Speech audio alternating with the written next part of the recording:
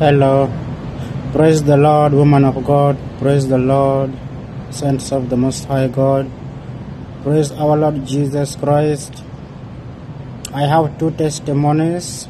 I want to testify for the goodness of our Lord Jesus Christ. The first testimony yesterday, when the woman of God, prophetess, was praying for people, I I asked for prayer request for my son Jesse. He was admitted in the hospital with malaria.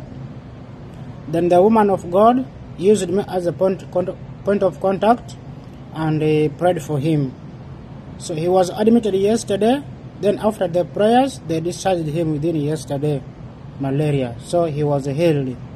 Even though they have to report back to the hospital, but he's okay. Today he was uh, playing. They told me because I'm not with them. So another testimony.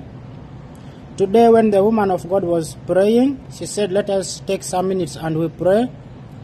She said, if you can pray in tongues, you pray. If you don't know how to pray in tongues, or if you don't have the gifts of praying in tongues, pray in your language. So I was praying.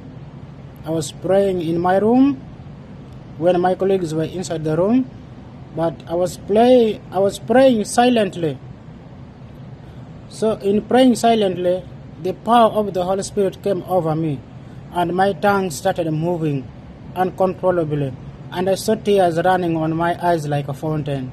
I prayed and I said, Thank you, God, thank you, God. This is my testimony. Glory be to the Lord Jesus, our Lord and Savior. Amen, amen, amen.